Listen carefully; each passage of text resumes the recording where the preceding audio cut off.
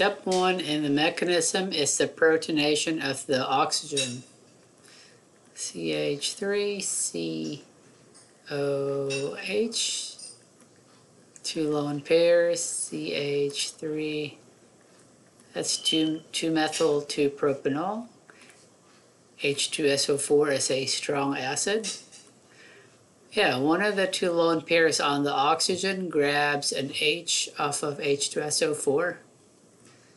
And this is what it becomes. CH3, C, CH3, CH3.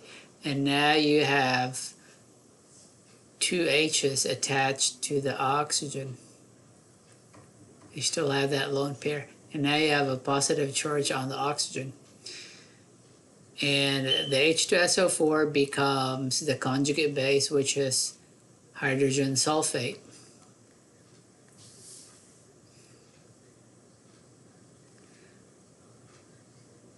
So this is step one. Step one. So this is the E1 mechanism. Step two. In the E1 mechanism, this is what happens to the intermediate. Uh, the product in step one is this, CH3, CH3, CH3 down, then O, H, H, lone pair, you have a positive charge. What happens is that there, oxygen is the second most electronegative element, so it it's very unhappy. So what happens is that bond goes to the oxygen as a second lone pair.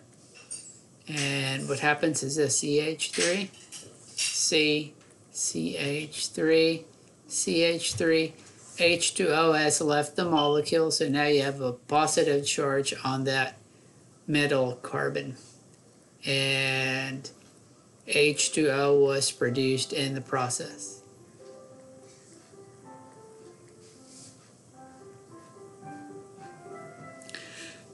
Okay, in step three, this here is the slow step.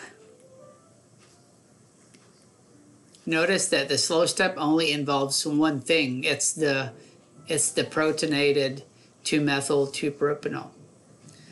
That takes us to step three. So we have the positively charged species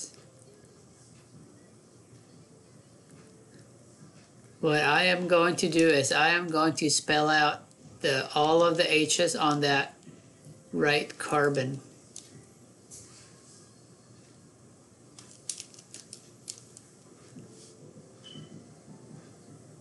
So we have one, two, three H's yeah, we produced an H2O molecule in the second step, and the H2O molecule enters the picture as well.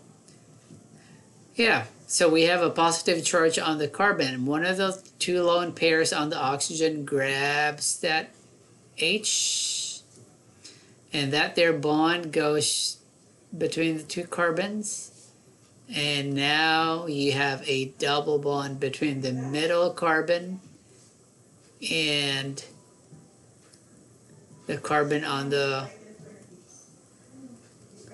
right CH3 and the H2O becomes H3O with a lone pair and a positive charge and that is how we form the alkene so the so this here is H3O and H3O Remember that in the first step we produced HSO4 minus. So it's an equilibrium process. The H3O plus and the HSO4 minus, they form H2O and H2SO4. So in step one, we used up the H2SO4, but at the very end, we uh, regenerated H2SO4. So we say that H2SO4 is a, is a catalyst.